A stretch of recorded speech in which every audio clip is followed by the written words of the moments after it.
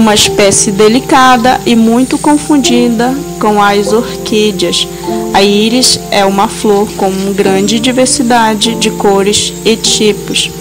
Não por acaso, é uma das queridinhas dos amantes de plantas e pode ser encontrada em uma infinidade de jardins. Os cuidados simples, a íris se dá-se muito bem com o clima brasileiro e seu cultivo não exige grandes habilidades.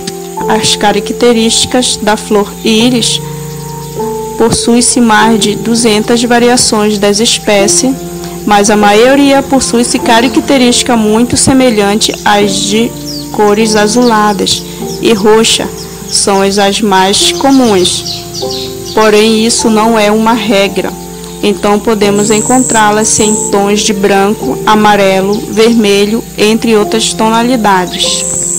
As flores possuem a partir de três pétalas e suas folhas em formato de espada e vai-se de 15 centímetros até 1,20 metro.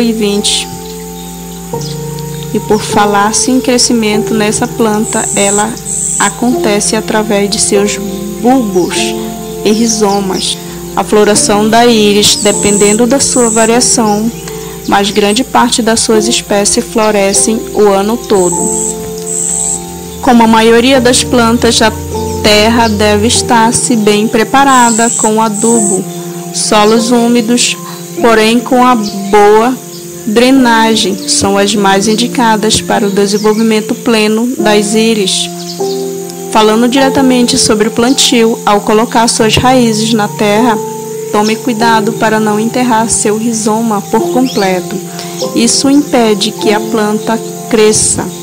E sempre que fosse plantar-se mais de uma muda, lembre-se de dar-se um espaço mínimo de 30 centímetros entre elas. Para o plantio em vasos, valem a mesma regra, em que a muda é certificação das drenagens no vaso para garantir antes da terra, faça uma camada de areia ou pedras no fundo do vaso.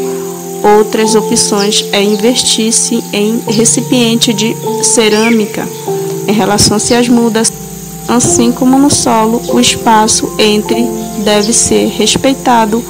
Então procure se colocar-se uma muda por vaso.